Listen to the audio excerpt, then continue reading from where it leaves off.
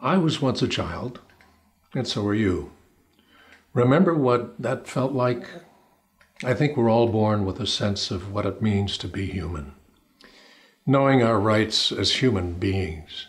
Somehow, most of us lose that sense of humanity. For a billion kids, childhood gets buried beneath the rubble of hardship, hunger, and pain.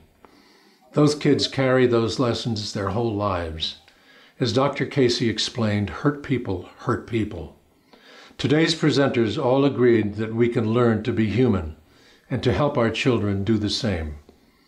There are methods, skills, and values that children can learn, that we can all learn to enjoy being human on this planet.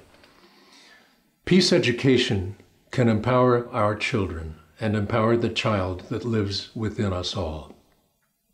If you agree, please join us in urging the United Nations to establish an official Global Peace Education Day please visit our website at globalpeaceeducation.com.